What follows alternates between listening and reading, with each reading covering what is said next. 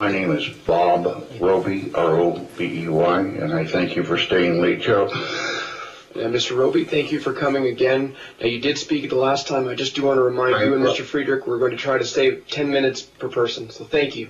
I will not take 10 minutes, and I thank you. I would like to comment that it was very difficult to get Mr. Hoagland here. It is very difficult to get people to come here and bare their souls. It is very difficult to get the little people to realize that their legislatures might indeed care. I am sorry, I have never been fined. I have served on my board, Sun City, Summerlin. I know how much it costs to run an election. It costs about three thousand dollars for nine or for eight thousand homes. You figure that out. Yes, they talk about sixteen million dollars here, as though sixteen million dollars was David Stone's giving to the associations. I doubt that very seriously. He collected sixteen million dollars, and Mr. And, and Mr. Um, Ohrenschall, I believe, asked how much of that went to the associations. He immediately went into the cost of fourteen dollars per lien, and, and he never answered the question. Um, I also know that I went down to Aliante. I met with the new owners of a home. I put this in the record. I don't know if it's an SB, SB 174 or, you know, I'm getting confused, guys. You, you have a massive job. I don't know how you can do it. And what happened there was the lady left in December of 2008. And she was immediately fined from then on because her husband had died and she just picked up and left and went up to um, Florida. Two years later, they had another hearing on it and they fined her some more money and it ended up $6,000. And I showed this to the new owner and I said, Mr. New Owner, did you pay this $6,000? And he said, of course not. Where did you get that figure from? I said, I got it from the internet. It was a lawsuit that was arbitrated by Mr. Athelberg. Now, that's $6,000. He wasn't paid by the new owner. It wasn't paid by the association.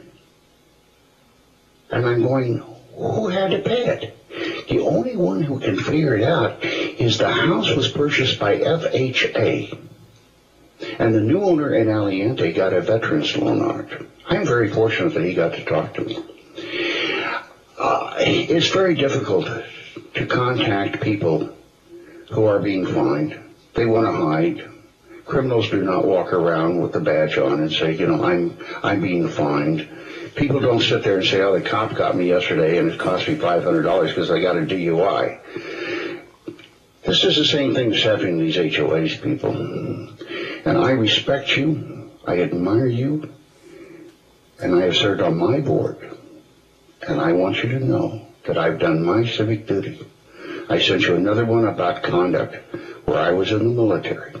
And this, I've read now where they want to put conduct into the law. Conduct into NRS 116? I, I, I have to stop. I'm sorry. Mr. Hoagland really tore me, tore me apart. And, and I've seen older people, and I've tried to help them. And I thank you for your time. Mr. Robey, thank you very much for coming to testify. We appreciate everything you're doing for HOAs. One question I have is, under this collection fee structure, in Mr. Munford's bill, it's been argued that HOAs, you know, will not be able to even hire a collection agency. I mean, do you think maybe this is too, too draconian and we need, No, I, I, I pers- per- personally, personally, I, I have been in collections. I worked my way through college being a bill collector. I, that was many years ago, guys. I, many, many years ago. I am staying away from this particular thing. I know that Mr. Hoagland getting, having to pay for the sub-association and the master association is, is ridiculous. I'm looking, I am here, I am standing here for the rights of people. The guy who said that his HOA was non-gated, but he could control the streets. That's. That, that scares me. I have a, I'm handicapped and I have my car and I park on the street go into my friend's house, come out and it's towed. I'm going, what happened? Well, they say, well, you had to have 48 hours notice. Hey, wait a minute. My car got towed. We have too many instances of these things happening.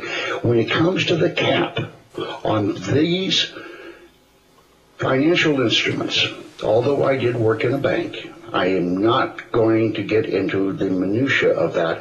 I know that the commission, when it met, was told by the attorney general representative on that commission that they should not be making the regulation at that time since it was in litigation and it was a policy of the attorney general that they do not write regulations when something is in litigation. That, to me, is all I need to know. I can tell you what I think of anything, but it matters not. When the Attorney General's representative says, do not, please, do not do this, and they do it anyway, I'm appalled. And I can send you the documentation on that. It's in the minutes of the Common Commission for condos and hotels in December of this year, uh, of of 2010. Sure, we'd appreciate that if you could send that to us. Thank you very much. Are there any questions for Mr. Robey? No questions. Will the next witness please testify?